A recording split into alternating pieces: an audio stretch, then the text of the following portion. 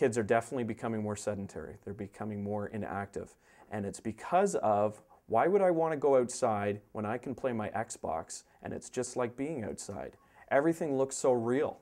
And it's so much more fun when I can play like that instead of going out and hitting baseball or playing basketball. And it's really unfortunate. It's something that, with technology growing, it's going to get worse and worse and worse unless we start to do something about it now.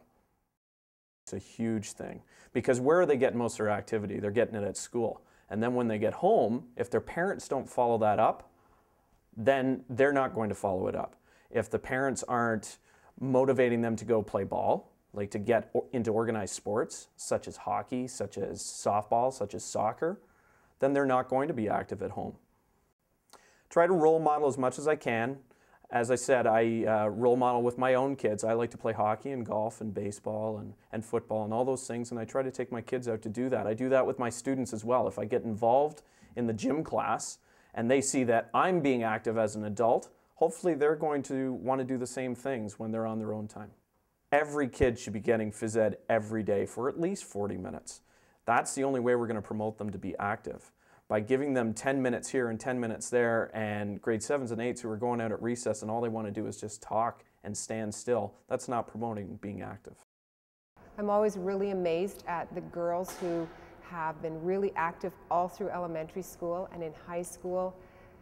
They don't try out for a team in grade 9, and once they don't try out in grade 9, then they believe that they're not good enough to try out ever again. I think parents have a great deal of influence if they're involved in their children's lives. If they are a role model and they themselves are active, often the rest of the family will also be active. I hope that first and foremost I'm a role model for them. I try to find ways that they can be successful and continue to be positive with them. The government talks about having students active, having them make healthy choices, but when it comes down to school level or the grassroots level, I don't think there are changes that are occurring. And a perfect example of that is that physical education is mandatory only in grade 9. It used to be mandatory in all grades, and now many students take one year of it, and that's the last time they ever take it. I feel that most college students aren't active enough in school, just mainly due to the fact that they're under a lot of stress. They are forced with extreme amounts of course load work as well as study time. It seems to interfere with uh, pretty much everything, and therefore, just they get demotivated with regards to personal exercise and their training.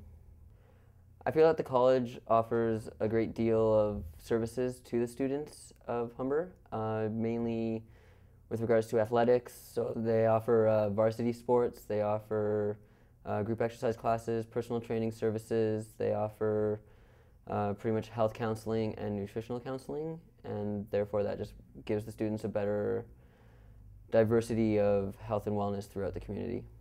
I feel that the community, along with uh, teachers and staff advisors would probably be the best means of administering, I guess, proper motivational techniques, uh, especially within their coursework. So having a course on wellness or nutrition given throughout, I guess, every program would probably be a great um, advancement for the students here at Humber College or even other colleges throughout the GTA.